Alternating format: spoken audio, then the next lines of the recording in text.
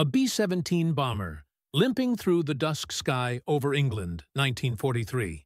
Its engines cough and sputter.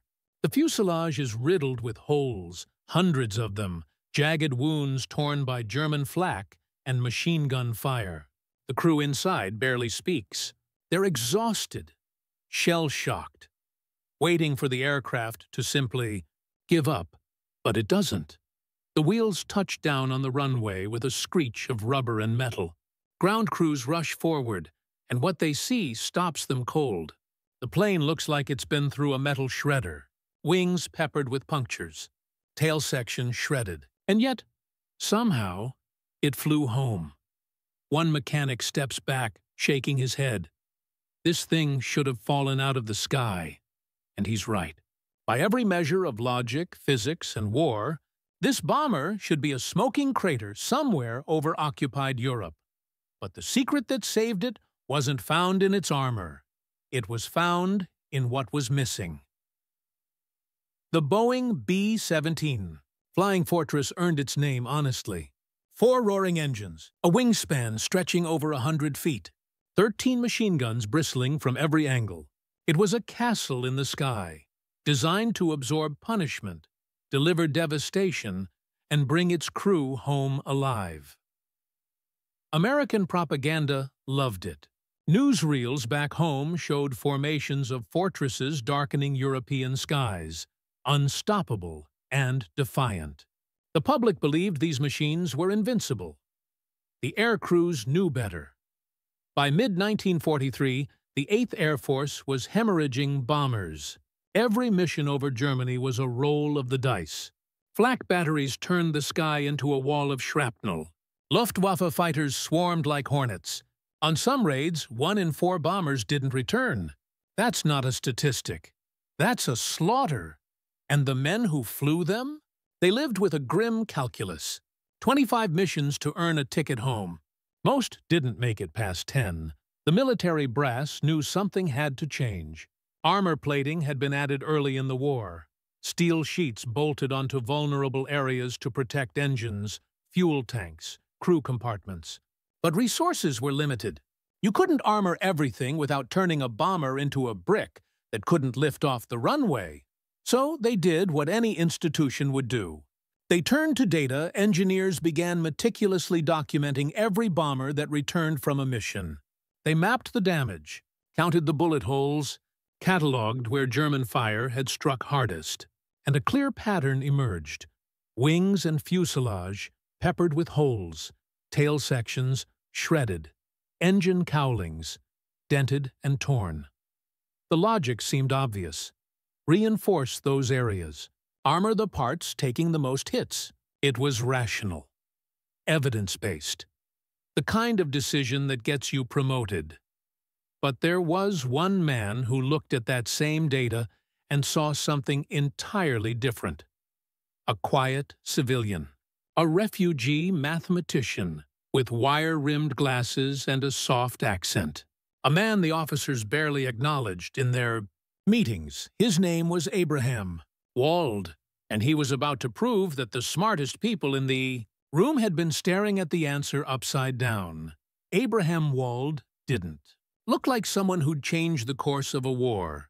Thin, unassuming, with the careful demeanor of a man who'd learned to make himself small. He'd fled Vienna just ahead of the Nazi occupation, one of the lucky few, a Jewish mathematician with no military rank, no uniform, no swagger. In the hierarchy of wartime Washington, he was nobody. The Statistical Research Group, SRG, had been assembled in 1942, a collection of brilliant minds tasked with solving the military's most complex problems. Wald was assigned to analyze bomber survivability. It was technical work, unglamorous, the kind of assignment you give the quiet guy in the corner while the real decisions get made by men with medals. And the military officers? They tolerated him. Barely.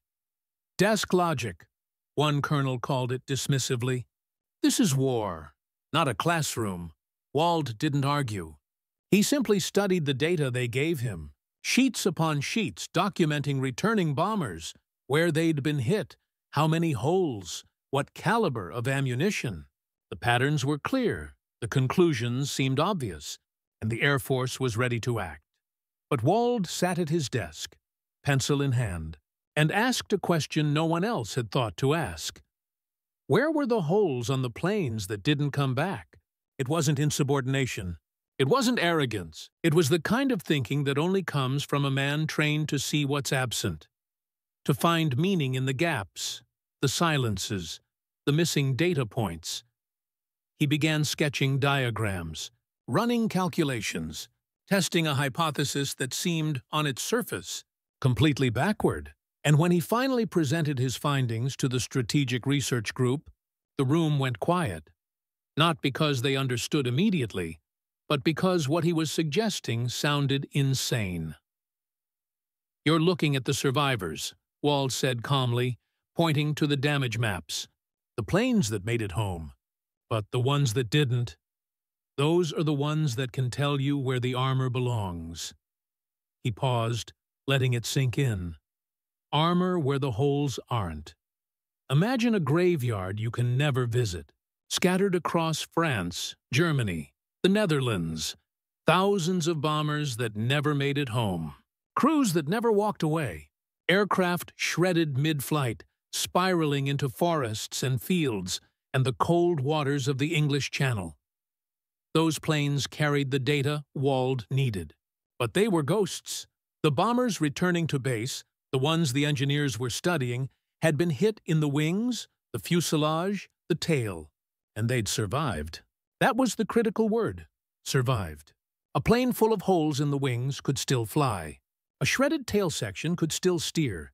The damage looked catastrophic, but it wasn't fatal. So where were the fatal hits? Wald's logic was elegant in its simplicity. If a plane could take damage to certain areas and still make it home, then those areas were, by definition, not critical. The truly vulnerable zones were the ones that showed no damage on returning aircraft. Why? Because any bomber hit in those spots never came home to be counted. It was selection bias made visible, survivorship bias. The military had been studying a dataset that was, by its very nature, incomplete. They were drawing conclusions from a population that had already passed a survival test and ignoring the population that had failed it. The missing bullet holes weren't random. They were a pattern of death.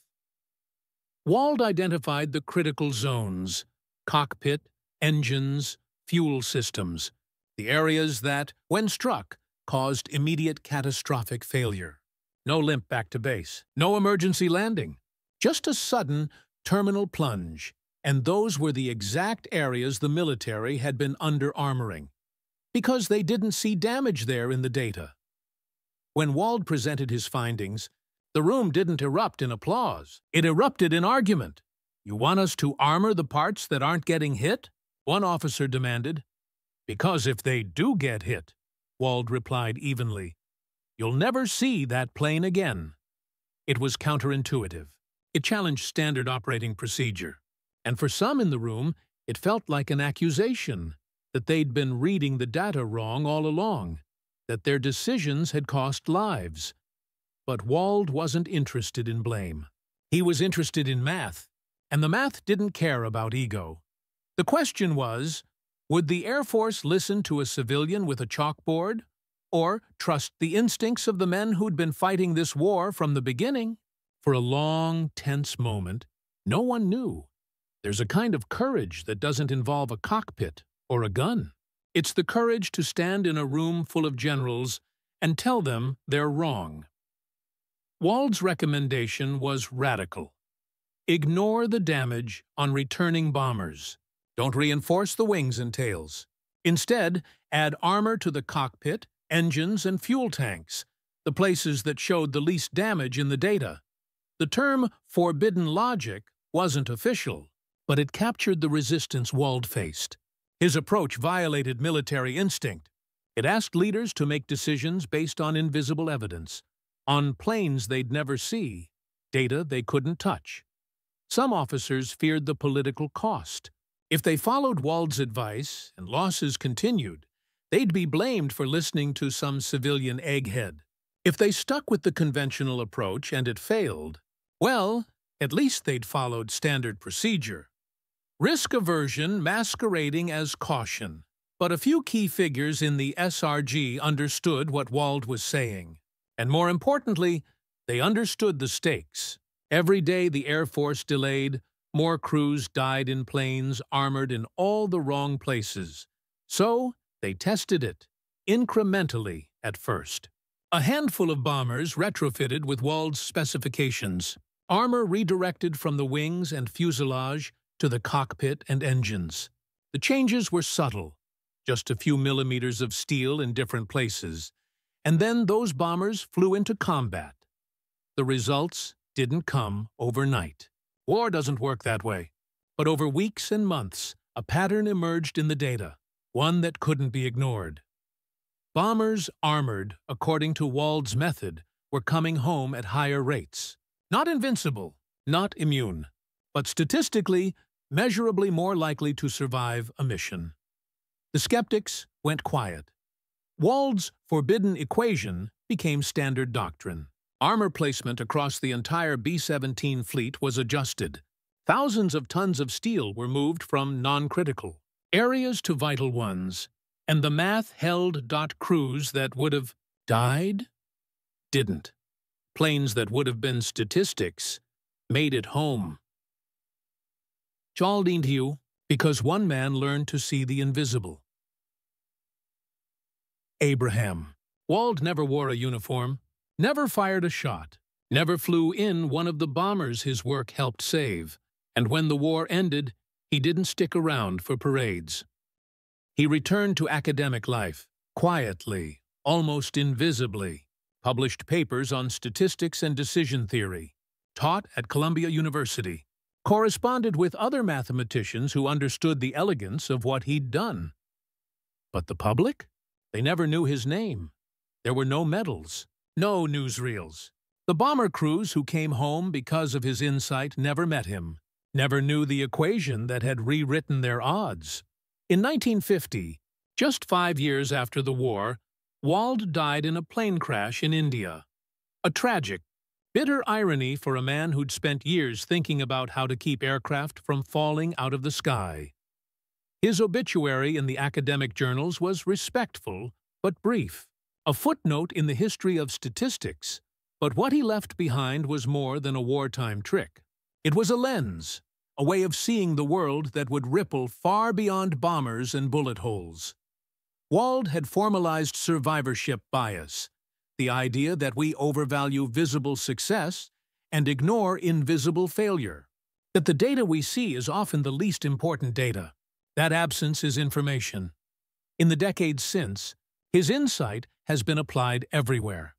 Medical researchers learn to study patients who don't respond to treatment, not just the ones who do. Engineers designing safer cars began asking, where are the fatal impacts not showing up in crash data? Investors learned that studying successful companies alone leads to terrible strategies. You have to study the ones that failed, Two, even modern AI systems grapple with survivorship. Bias, models trained only on successful outcomes that miss the E by two invisible patterns in what never made it into the dataset Wald didn't just save bombers. He taught the world to see ghosts. Here's the uncomfortable truth. We live in a world built on survivor bias. Every success story you hear, the entrepreneur who made it big, the athlete who beat the odds, the artist who broke through, is a bomber that made it home. Bullet-riddled, scarred, but alive to tell the tale. And we study them obsessively. We map their bullet holes. We catalog their strategies, their habits, their morning routines. We write books about their grit, their vision, their relentless focus. But we almost never ask about the ones who didn't make it the entrepreneurs with the same work ethic who went bankrupt, the athletes with the same talent who got injured, the artists with the same passion who never got discovered. They're the missing data, the fatal hits, the planes that didn't come home. And ignoring them doesn't just skew our understanding. It can be dangerous. After World War II, Wald's method became a cornerstone of operational research, the field that blends statistics, engineering, and strategy. His thinking influenced everything from cold war defense planning to the design of the Space Shuttle. NASA engineers used survivorship bias awareness to investigate the Challenger and Columbia disasters, asking not just what failed visibly, but what silent risks had been ignored because previous missions succeeded despite them. In medicine, clinical trials now routinely account for survivorship bias, tracking patients who drop out of studies, recognizing that the ones who complete treatment aren't necessarily representative of everyone who needs it. In business, venture capitalists have learned, some of them, anyway, that studying only successful startups is a recipe for bad investments. The real lessons are in the graveyard of failed companies, the ones that had great ideas, strong teams, and still couldn't make it work. But here's the thing. We still struggle with this, because the invisible is hard to study. The absent is hard to measure. The planes that didn't come home don't land on your airfield with convenient data logs. It takes discipline to look for what's missing, to ask the harder question, and it takes a certain kind of mind curious, skeptical, unafraid of being wrong, to see the pattern in the silence. Abraham Wald had that mind. And because he did, thousands of young men got to see one more sunrise. There's a photograph, grainy, black and white, of a B-17 crew standing in front of their bomber somewhere in England, 1944. Ten young men, barely out of their twenties, grinning despite everything. You can see the patches on the fuselage behind them, bullet holes repaired with riveted metal, evidence of a mission that almost killed them. They don't know it. But the armor that saved their lives was placed there because of a man they'd never meet. A refugee mathematician who asked a simple, impossible question, what am I not seeing? That question changed a war. And in quieter, less dramatic ways, it's still changing the world. Every time a researcher looks at the patients who didn't recover, every time an engineer asks why a system succeeded despite a flaw, not because of its design, every time someone resists the seductive simplicity of studying only the winners. That's Wald's legacy, not a medal or a monument, but a way of thinking, a reminder that the most important data is often the data that isn't there. The next time you see something survive, whether it's a business, a strategy, or even a life, don't just ask how it succeeded. Ask what's missing from the picture. Ask about the planes that didn't come home. Because somewhere in that silence, in those invisible bullet holes, is the truth that might just save the next life.